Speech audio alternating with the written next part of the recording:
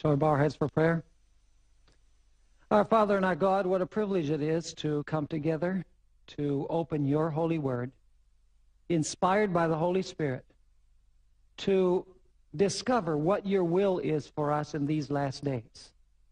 We ask that as we study the story of Enoch, that your Holy Spirit will be with us and teach us the lessons which will be useful and profitable as we live in this la- these last days of human history. We thank you, Lord, for the promise of your presence. And Father, we just ask, we plead that you will be with us. In Jesus' name, amen. We want to begin our study today by turning in our Bibles to Revelation chapter 12 and verse 17. As we've studied before in this seminar, this verse is actually a pickup on Genesis 3:15. And uh, it's actually speaking about the end time remnant of God on planet Earth, the remnant that will go through the final tribulation and will actually uh, be in this world when Jesus comes. It says here in Revelation 12, verse 17, and the dragon, that is the devil, was enraged with the woman. The woman represents the church. And he went to make war with the rest of her offspring, or the remnant of her seed. The remnant is the last portion of God's people. And now notice that this remnant has two characteristics.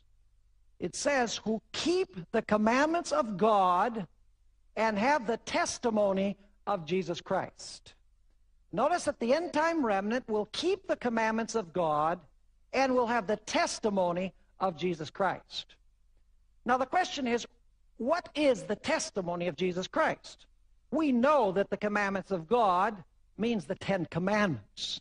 But the testimony of Jesus, we need to take a look at what the Bible has to say about that. What is the testimony of Jesus? Well, let's turn in our Bibles to Revelation chapter 19 and verse 10.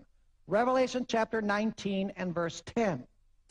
Here we have a clear explanation as to what the testimony of Jesus is, which, will, which the remnant will possess in the end of time. It says there, by the way, a majestic being appears to John, uh, who's the writer of the book of Revelation, and we find these words about the encounter. And I fell at his feet to worship him. But he said to me, that is, the angel says to John, See that you do not do that. I am your fellow servant and of your brethren who have the testimony of Jesus. What do the brethren of John have? They have the testimony of Jesus. And then it says, Worship God, for the testimony of Jesus is the spirit of prophecy. So here we have a definition of what the testimony of Jesus is. It is the spirit of prophecy, which means that the end time remnant is going to keep the commandments of God, the Ten Commandments, and they are going to have the testimony of Jesus, which is the gift of prophecy or the spirit of prophecy. Now, there's a third characteristic that this end time remnant is going to have. And that characteristic is found in Revelation chapter 14 and verse 12. Revelation chapter 14 and verse 12. And by the way, this verse repeats one detail which we already read in Revelation 12 17. It says here, speaking about the end time remnant, here is the patience of the saints. Here are those who keep the commandments of God. We've already seen that in 1217. Who keep the commandments of God and the faith of Jesus. So the end time remnant has faith. Not any old kind of faith, but the faith of Jesus. The faith that Jesus had. And so we find three characteristics in these verses about the end time remnant. They keep the commandments of God. They have the testimony of Jesus, which is the gift of prophecy or the spirit of prophecy. And they also have an unbreakable faith the faith of Jesus. Now, in order to understand fully this end time generation, we have to go to the time before the flood. And I'd like you to invite you to go with me to Genesis chapter 6 and verse 5. We're actually going to talk about one of the most spectacular events recorded in the Old Testament. Now, allow me to give you just a little bit of chronology about this event. It took place 987 years after creation. That means that it took place 669 years before the flood. And actually, it would further mean that it happened 549 years before Noah began preaching 120 years before the flood. Now, we're going to talk about this event in our study tonight. It's really spectacular. And uh, let's take a look once again at Genesis chapter 6 and verse 5 and read about the condition of the world before the flood. It says there, Then the Lord saw that the wickedness of man was great in the earth, and that every intent of the thoughts of his heart was only evil continually. So the condition of the world before the flood was in, in a dire situation. The world had become almost totally corrupted according to this. Now we find in Matthew chapter 24 and verses 37 to 39 that the condition of the world before the flood is actually symbolic or representative of the condition of the world before the second coming of Christ. Notice Matthew chapter 24 and verses 37 to 39. It says, But as the days of Noah were, so also will the coming of the Son of Man be. Now, did you notice here that there's a comparison between the days of Noah and the coming of the Son of Man? It continues saying, For as in the days before the flood, they were eating and drinking, marrying and giving in marriage until the day that Noah entered the ark, and did not know until the flood came and took them all away. So also will the coming of the Son of Man be. Now, what I want you to notice is that the world was in a condition in the days of Noah similar to the condition it will be in shortly before the second coming of Christ. Now, with this in mind, we want to study the story about a very special hero that we find recorded in Genesis chapter 5. His name is Enoch. Now, before we take a look at Enoch, we need to notice some very interesting details that we find in Genesis chapter 5. We're going to discover that before the flood, there were two different types of faithful people, two different types of righteous people. And you're saying, I thought there was only one kind of righteous person. Well, in a certain sense, there is. But in the sense that we're noticing tonight, we're going to see that there were two categories of righteous people. The first category of righteous person are those who died before the coming of the flood, which represents, by the way, the second coming of Jesus, as we read in Matthew chapter 24. Let's go in our Bibles to Genesis chapter 5, and let's read several verses in this chapter about what happened with many of these heroes that are mentioned here, actually the genealogy which eventually will end up with Jesus Christ. We'll begin at verse 5. We're going to jump to several verses here. It says, So all the days that Adam lived were 930 years, and he died. Let's go to verse 8. All the days of Seth were 912 years, and he died. Verse 11, all the days of Enosh were 905 years, and he died. Let's go to verse 14. All the days of Cainan were 910 years, and he died. Verse 17, all the days of Mahalaleel were 895 years, and he died. Verse 20, all the days of Jared were 962 years, and he died. Verse 27, all the days of Methuselah were 969 years, and he died. Verse 31. All the days of Lamech were 777 years, and he died. And then we jump to Genesis chapter 9 and verse 29. It says, All the days of Noah were 950 years, and he died. So you'll notice that before the flood, one category of believer was the believer that died before the coming of the flood. But I want you to notice that there is a second kind of believer before the flood. Notice Genesis chapter 5 and verse 24. I skipped over one individual in this genealogy of Genesis chapter 5. Genesis chapter 5 and verse 24, the second category of believer. It says here in Genesis 5 verse 24, and Enoch walked with God, and he was not, for God took him. Now, did you notice that? And Enoch walked with God, and he was not, for God took him.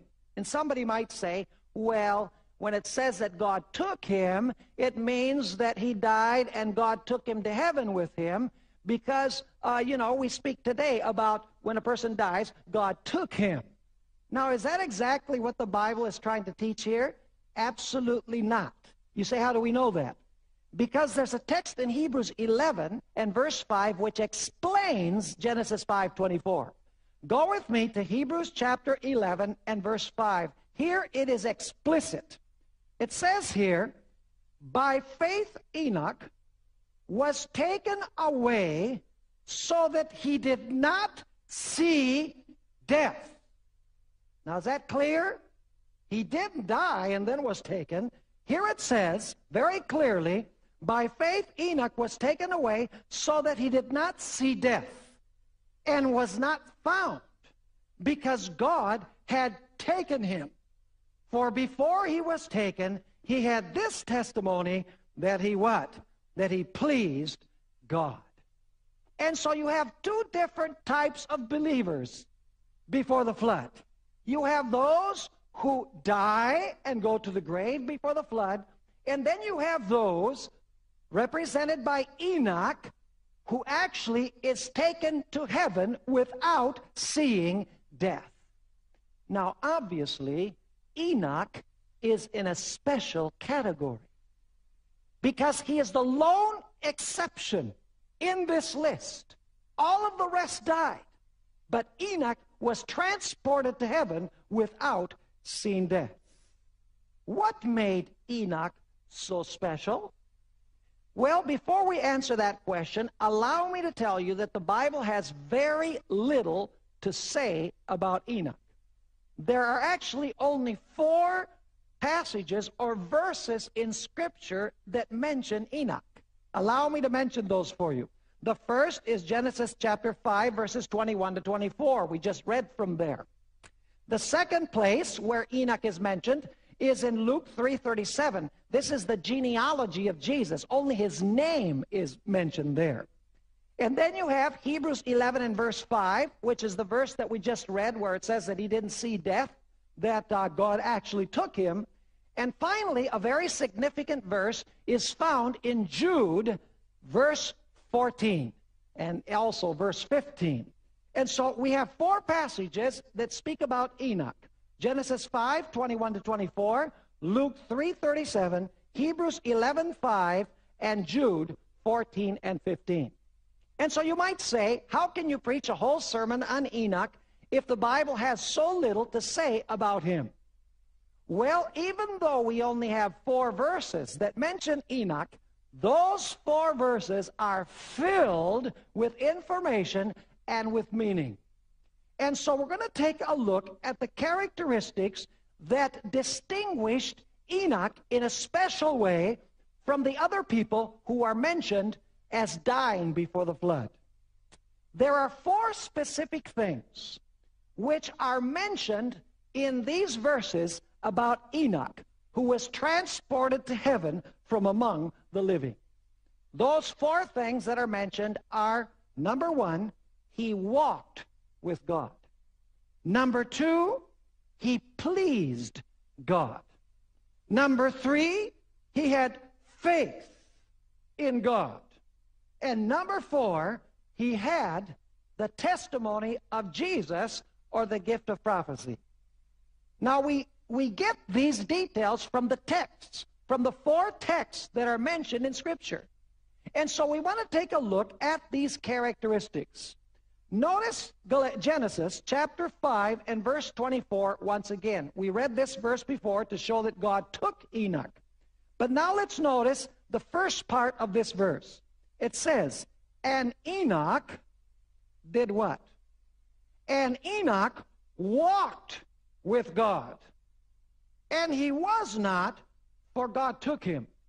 Now, I might mention a very important detail, and that is that in Genesis 5, we are told that Enoch walked with God after he had Methuselah for 300 years. That's significant because Enoch lived to be 365 before he was taken to heaven by God. It doesn't say that the first 65 years he walked with God, although undoubtedly he walked with God. But there was a special sense in which Enoch walked with God from the 65th year of his life through the 365th year of his life. And you say, what was that? Well, in our second textbook, the book Patriarchs and Prophets, Ellen White explains that when Enoch had Methuselah, he understood better than ever before how God feels for his children because now Enoch had a son and he could understand the father son relationship so much better in the light of having a son. He knew what it was like for God to feel for his earthly children. And so we're told here that in a special sense, he walked with God after he had Methuselah. Now, notice also Hebrews 11 and verse 5. Not only did he walk with God, but we're told that he did something else. Actually, it's the same thing as walking with God, but a different expression is used. It says in Hebrews 11 verse 5, By faith Enoch was taken away so that he did not see death and was not found because God had taken him. And now notice this. For before he was taken, he had this testimony that he pleased God. What does it mean to walk with God? It means to what? To please God. In other words, Enoch walked with God. Enoch pleased God. But do you know that Enoch also had faith in God. Notice what we find in Hebrews 11 and verse 6. Hebrews 11 and verse 6. After saying that Enoch pleased God, notice what we find in this verse. But without faith, it is impossible to what? To please him. For he who comes to God must believe that he is, and that he is a rewarder of those who diligently seek him. So Enoch pleased God, and without faith, it is impossible to what? To please him. So you'll notice three characteristics so far, and we're going to notice that they're very closely related. First of all, he walked with God. Secondly, he pleased God. In the third place, he had faith, because without faith, it is impossible to please God. Now, the fourth characteristic is found in Jude, verses 14 and 15. This is that little book right before the book of Revelation. Jude 14 and 15. It says here about Enoch, now Enoch, the seventh from Adam, prophesied about these men also, saying, Now let's stop there just for a moment. What did Enoch do? He prophesied. Do you know who he was prophesying about? Actually, he was prophesying about two groups. The first group of wicked people that he was prophesying about was the pre-flood race that we've already read about in Genesis 6 verse 5, that every intent of the hearts uh, and their, their imaginations was only evil continually. He was prophesying about them. But he was also prophesying about a wicked generation shortly before the second coming of Jesus. Because as it was before the flood, so also will it be at the coming of the Son of Man. So he's looking at both of these groups. And so it says, Now Enoch, the seventh from Adam, prophesied about these men, also saying, Behold, the Lord comes with 10,000 of his saints to execute what? Judgment on all. To execute what? Judgment on all. Did Enoch preach the judgment? He most certainly did. He was a prophecy that announced the judgment. And so it says to execute judgment on all. Now let's stop there. Was Enoch a prophet? Yes, he was. Did he then have the testimony of Jesus? Did he rebuke iniquity? Did he announce that God was going to come in judgment? Absolutely. And so we notice four characteristics about Enoch. First of all, he walked with God. Secondly, he pleased God. In the third place, he had faith, because without faith, it is impossible to please God. And in the fourth place, he was a prophet, and so he had the testimony of Jesus. But now we need to take a look at what all of these things mean. What does it mean to walk with God? What does it mean to please God? What does it mean when the Bible says that Enoch had faith? And let's understand a little bit better what the testimony of Jesus is, what the gift of prophecy is. And so, first of all, we want to notice what it means to walk with God, because Enoch is a symbol of the end time generation. Now, notice Amos chapter 3 and verse 3. The book of Amos, chapter 3 and verse 3. What does it mean to walk with God? It says here, can two walk together unless they are what? Unless they are agreed. Must you be of one mind with God in order to walk with God according to this verse? Can you be at odds with God and be walking with God? Absolutely not. Now, there's a very, very interesting characteristic about the expression walking in the Old Testament as well as in the New. Almost every time that the expression walk is used in this sense of walking with God, it has to do with keeping God's commandments. I want to read several verses from Scripture that illustrate this point. Go with me to Deuteronomy chapter 10 and verses 12 and 13. Deuteronomy chapter 10 and verses 12 and 13. Walking with God is linked with keeping God's commandments. It says there in Deuteronomy chapter 10, verse 12, And now, Israel, what does the Lord God require of you? But to fear the Lord your God, and to walk in all his ways, and to love him, to serve the Lord your God with all your heart and with all your soul and to keep the commandments of the Lord and his statutes, which I command you today for your good.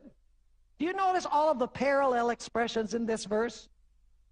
You have, for example, to fear the Lord your God, to walk in all his ways, to love him, to serve him with all your heart and with all your soul, and to keep the commandments of the Lord. So let me ask you, what does it mean to walk with God? It means to fear Him. It means to walk in His commandments. It means to love Him. That was true of Enoch. That was the experience of Enoch walking with God. Now let's notice two or three other texts. Notice Deuteronomy chapter 13 and verse 4. Deuteronomy chapter 13 and verse 4. Here God is speaking to his people and he says, You shall walk after the Lord your God and fear him and do what? and keep his commandments. That's the expression we found in Revelation 12, 17. And keep his commandments. And then what does it say? And obey his voice. And you shall serve him and hold fast to him. What does it mean to walk with the Lord?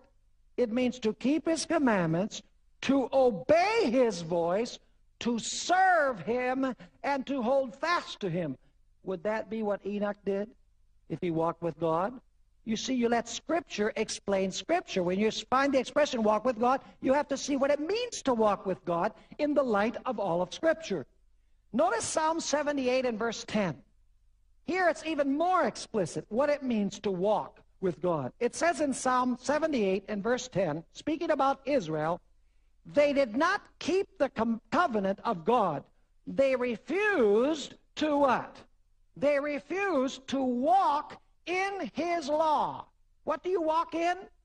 You walk in God's law according to this. Let me ask you, did Enoch walk in God's law? Did he keep God's commandments? Did he obey the voice of the Lord? Yes, if you compare these scriptures with Genesis 5, you'll notice that he did. You see, when you only have that expression, he walked with God, you have to go to other places in Scripture that explain what it means to walk with God. Notice also Psalm 119 and verse 1. Psalm 119 and verse 1. It says here, by the way, this is David the psalmist who is writing, Blessed are the undefiled in the way, who walk in the law of the Lord. Blessed are those who walk how? Who walk in the law of the Lord. Was Enoch a law keeper? Was he obedient to God's commandments? He most certainly was. By the way, does this remind us of Revelation 12, 17? The people who keep the commandments of God in the end time generation? Now notice 1 John 2, 3 to 6, because somebody might say, well, this was just Israel in the Old Testament. So let's notice a text from the New Testament. 1 John chapter 2 and verses 3 to 6. It says here, By this we know that we know him if we keep his commandments, how do we know that we know God? If we what? If we keep his commandments. By the way, this is the same author of Revelation 12, 17, the same writer, not the same author, because God is the author, but the same writer. Now notice this. He who says, I know him, and does not keep his commandments is a liar, and the truth is not in him. But whoever keeps his word, Truly the love of God is perfected in him. By this we know that we are in him. He who says he abides in him ought himself also to what? To walk just as he walked. Is walking with God linked here with keeping God's commandments? It most certainly is. So when Genesis tells us that Enoch walked with God, it's another way of saying that Enoch obeyed God and kept his what? And kept his commandments. Is that one of the characteristics of the end time generation that will live before the second coming, like Enoch lived before the flood? Absolutely. But now we need to take a look at what it means to please God. And by the way, walk with God and please God are synonymous. I don't know whether you caught that. In Genesis, we're told that Enoch walked with God. In Hebrews, we're told that before Enoch was translated, he pleased God. So to walk with God is the same as what? It's the same as to please God. Now, what does the Bible mean when it says that a person pleases God? Notice 1 John chapter 3 and verse 22. 1 John chapter 3 and verse 22. It says here, And whatever we ask we receive from him. Because we what? Because we keep his commandments and do those things that are pleasing in his sight. What is pleasing in the Lord's sight? Keeping his what? His commandments. Does that square with what it means to walk with God? Absolutely. And so it says here that God answers our prayers because we keep his commandments and we do those things that are pleasing in his sight. By the way, this is the way Jesus lived. Notice John chapter 8 and verse 29. John chapter 8 and verse 29. It says here, Jesus is speaking, and he who sent me is with me. The Father has not left me alone. Now, why hasn't the Father left him alone? For I always what? I always do those things that please him. Is pleasing God, or rather, does pleasing God have anything to do with obeying God and doing what God expects us to do? Absolutely. Jesus himself says so. He says, The Father has not left me alone, for I always do those things that please him. By the way, the Apostle Paul tells us that those who are in the flesh cannot please God. The expression to live in the flesh means that you haven't been converted. It means that, that you have a fleshly existence. You have a selfish nature that is dictating your behavior. Let's notice Romans chapter 8, Romans chapter 8 and verses 7 and 8. Romans chapter 8 and verses 7 and 8. It says here, because the carnal mind is enmity against God. For it is not subject to the law, law of God, nor indeed can be. Is the fleshly nature in conflict with the law of God? Absolutely. And then notice, so then, those who are in the flesh cannot please God. Are you catching the connection here between the fleshly person and keeping the commandments of God. The fleshly person cannot keep the commandments of God, which means that they cannot do what? They cannot please God according to this. And by the way, if you go to Galatians chapter 5, you're going to notice what the works of the flesh are. They are actually violations of the Ten Commandments. Notice the list that the Apostle Paul gives, and I'm reading from the NIV because there's some words in the uh, New King James that are difficult to understand.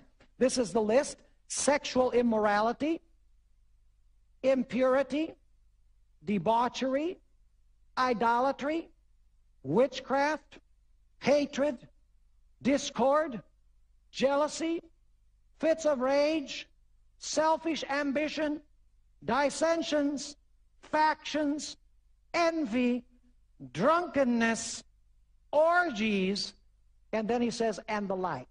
Those are the works of the flesh. Let me ask you, are all of those violations of God's Ten Commandments? Those people who practice these things, are they really pleasing God? No, because they're living according to the flesh, and living according to the flesh brings as a result the works of the flesh. And so we find that Enoch walked with God, he pleased God, which basically means that Enoch obeyed God's commandments. It means that, that Enoch followed the will of God. He feared the Lord. He loved the Lord. He obeyed the Lord. He kept his, kept his commandments. He walked with him, in other words. Allow me to read you a very interesting statement from our second textbook, Patriarchs and Prophets, page 85, on Enoch. It says here, Enoch's walk with God was not in a trance or vision, but in all the duties of his daily life. He did not become a hermit, shutting himself entirely from the world, for he had a work to do for God in the world. And now notice this. In the family and in his intercourse with men, as a husband and father, a friend, a citizen, he was steadfast, unwavering servant of the Lord. In other words, walking with God meant that he walked with God in all the areas of life and in all of his relationships. And of course, when we remember that the law of God is a law of relationships, because basically it means to love God and to love our neighbor, we understand that Enoch loved God and his neighbor, and it was manifested in obedience to the commandments of God.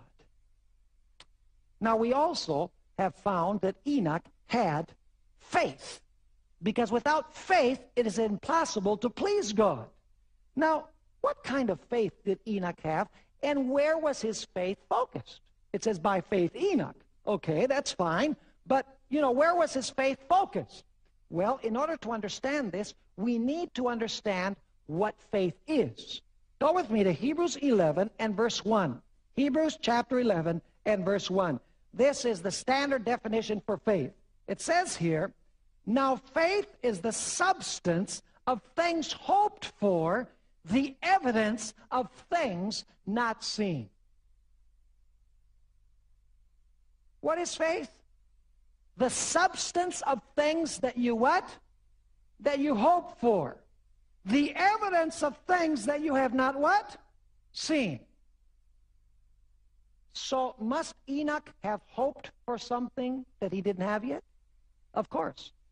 Must he have desired to see something that at that point he did not see? Of course. And the question is, where was his faith focused? Oh, there's this beautiful statement that's found in Patriarchs and Prophets, page 87. I want to read it to you. It's beautiful. It says here, But Enoch's heart was upon eternal treasures. He had looked upon the celestial city. Did you notice that? He had looked upon the celestial city. He had seen the king in his glory in the midst of Zion. His mind, his heart, his conversation were in heaven. Where was his faith focused? Was he hoping for heaven? Yes. Could he actually see heaven with his physical eyes? No. But did he see heaven with the eye of faith? He most certainly did. He longed for heaven. She continues saying, the greater the existing iniquity, the more earnest was his longing for the home of God. While still on earth, he dwelt by faith in the realms of light. In other words, his faith was a hope that someday he could live with God in heaven, which he could not see with his physical eyes, but which he grasped by faith. Have you ever heard the expression, he's so heavenly minded, he's no earthly good? You know, I like to change that around and I like to say, he's so earthly minded, he's no heavenly good. And the fact is that Enoch, he was heavenly minded, but that did not keep him from fulfilling his daily duties of love to God and love to his fellow human beings. But he knew that this world was not his home. His faith was focused on eternal realities, not the phantoms of this world. So we've noticed three characteristics. Number one, Enoch walked with God. That means keeping his commandments. Enoch pleased God. That means that you don't walk according to the flesh, but according to the Spirit. It means that you're not at enmity with the love, law of God, but you're in love with the law of God. Enoch had faith. His faith was focused on heavenly realities. Even though he was on earth, he was walking with the king in the New Jerusalem by faith.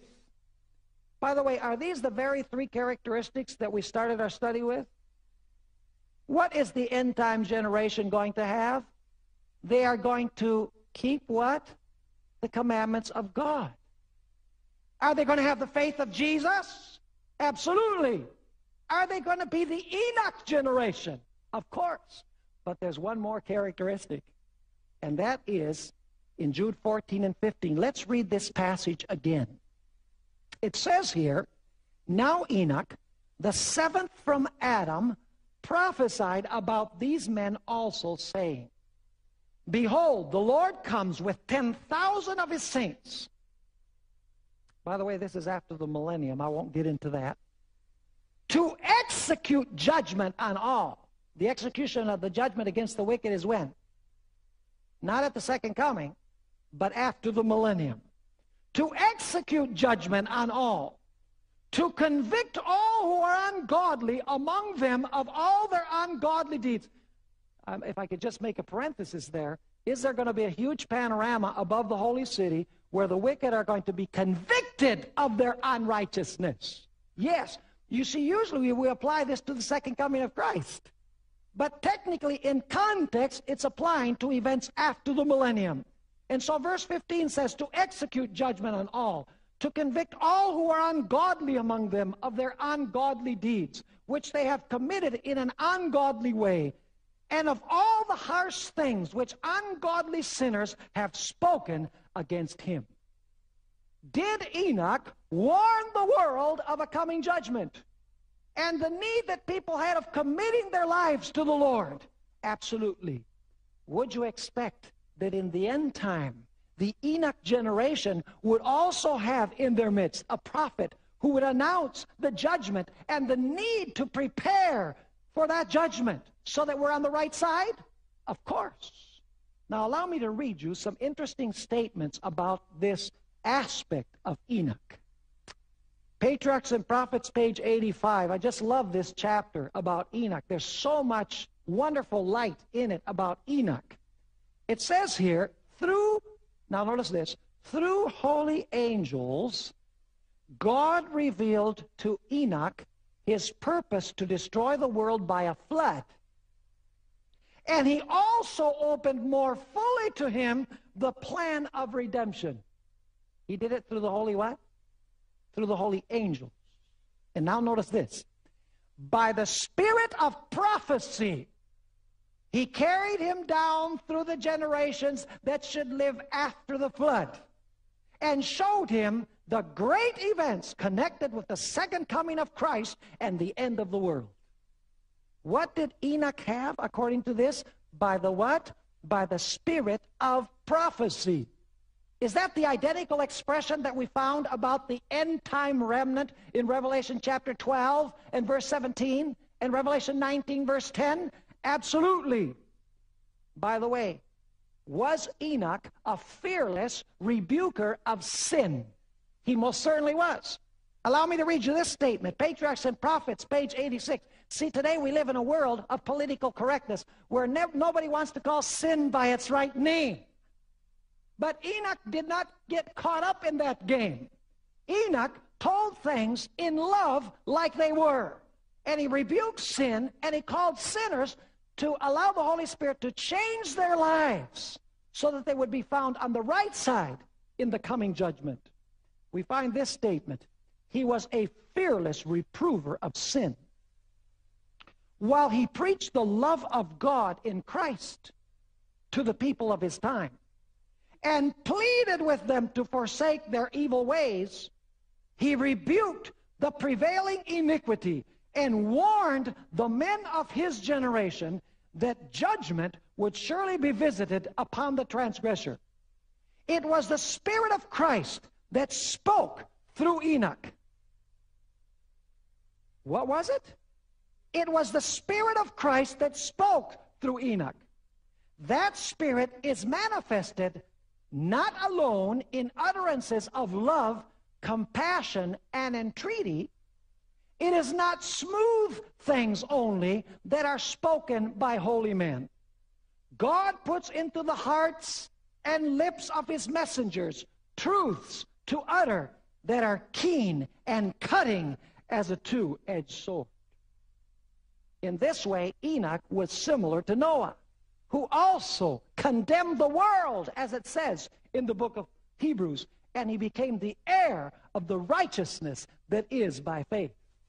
One further statement from Patriarchs and Prophets, page 87, talks about the holiness of Enoch. It says, Blessed are the pure in heart, for they shall see God. For 300 years, Enoch had been seeking purity of soul that he might be in harmony with heaven. What was he seeking? Purity of soul, that he might be what? In harmony with heaven. For three centuries, he had walked with God. Day by day, he had longed for a closer union.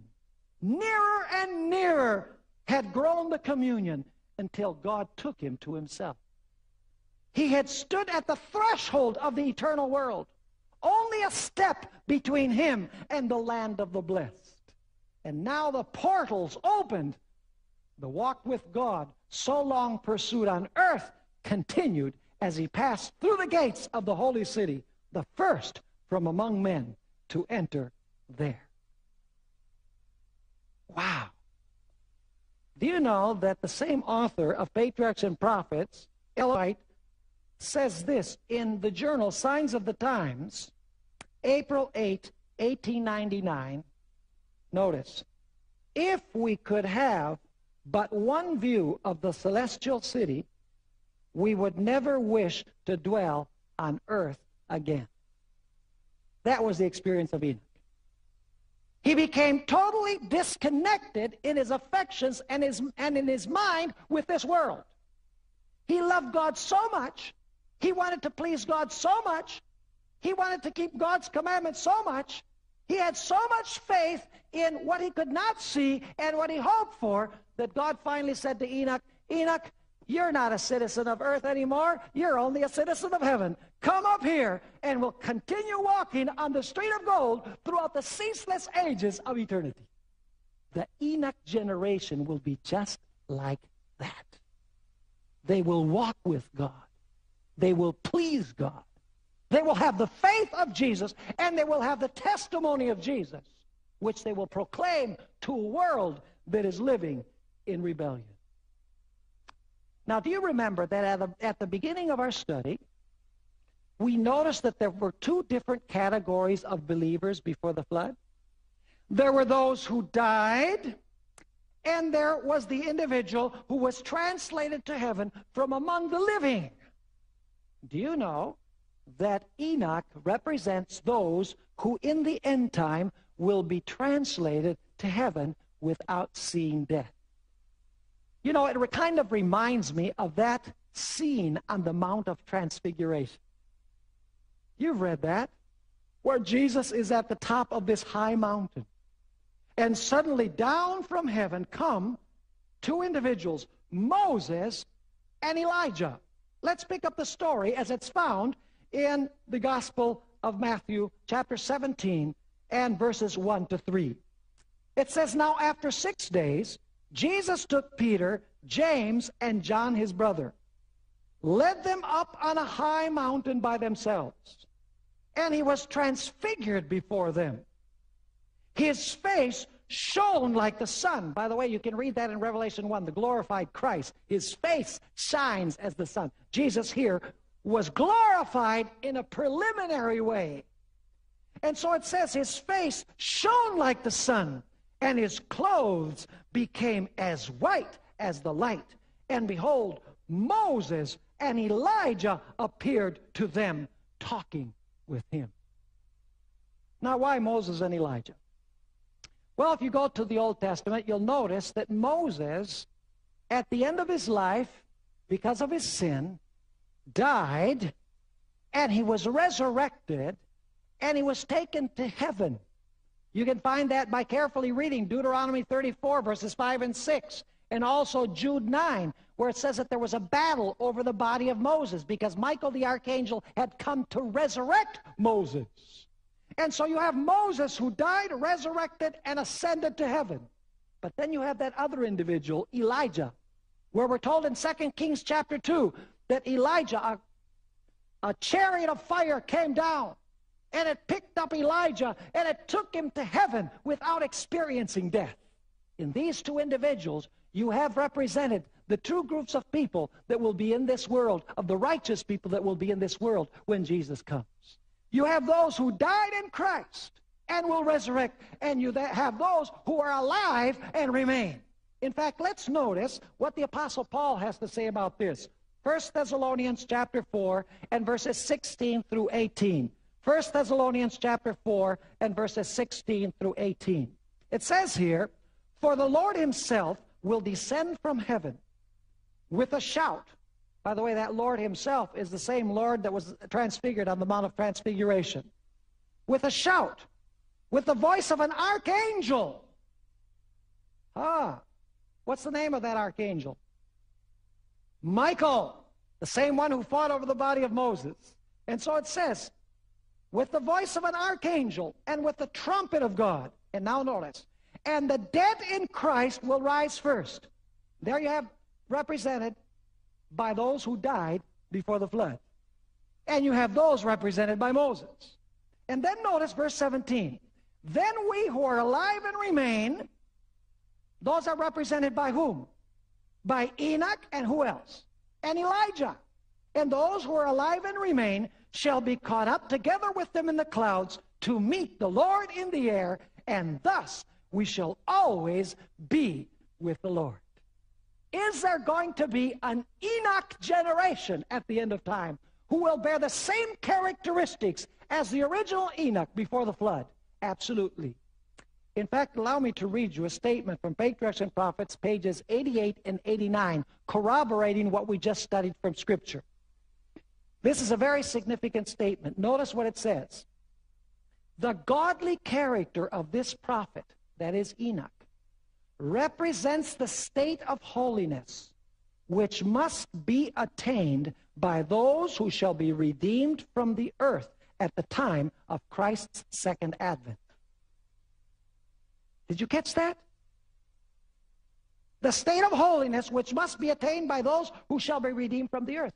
By the way, do you know there's only one type of uh, person who's going to be alive when Jesus comes? The 144,000. And they will have gained the total, total victory over sin. Now, notice what this continues saying. Then, at the second coming, shortly before the second coming, as in the world before the flood, iniquity will prevail following the promptings of their corrupt hearts and the teachings of a deceptive philosophy, men will rebel against the authority of heaven. But like Enoch, God's people will seek for purity of heart and conformity to his will until they shall reflect the likeness of Christ. Like Enoch, they will warn the world of the Lord's second coming and of the judgments to be, be visited upon transgression. And by their holy conversation and example, they will condemn the sins of the ungodly. Is there going to be a whole generation like Enoch who are going to warn the world through the gift of prophecy, who are going to obey God, manifest his pure character, not live according to the flesh but according to the Spirit? Absolutely. She continues saying, as Enoch was translated to heaven before the destruction of the world by water, so the living righteous will be translated from the earth before its destruction by fire. This is the generation that Jesus is waiting for with a longing desire. Now you say, how in the world do we ever reach this state? Well, it's actually not as complicated as many people think. You see, the way that we reach this state is by that which we listen to and watch. You know, if our eyes are focused on earthly things, we will be earthly minded. If our eyes are focused on heavenly things, we will be heavenly minded. We all know that little that little song, turn your eyes upon Jesus, look full in his wonderful face, and what will be the consequence? And the things of earth will grow what? Will grow strangely dim in the light of his glory and grace. Notice 2 Corinthians chapter 3 and verse 18. 2 Corinthians chapter 3 and verse 18. Here it's speaking about the secret. It's such a simple secret, but we find so difficult to follow the counsel of God. It says here, but we all, with unveiled face, beholding as in a mirror the glory of the Lord. What do we behold? The glory of the Lord. Do you know what the glory of the Lord is? The glory of the Lord is his character. It's his character. You can read that in, in Exodus. When Moses went to the top of the mount, Exodus chapter 32. By the way, is the glory of God contagious? You know, when Moses went up there and spent 40 days with the Lord, he came down from the mountain, and what was happening with his face? His face was shining or glowing because he had been with the Lord. If we want our faces to shine and to glow, what do we have to do? We have to spend time with the Lord. Because his glory is contagious. Now notice, but we all with unveiled face, beholding as in a mirror the glory of the Lord, are being what? Transformed. That's the word metamorphosis in Greek.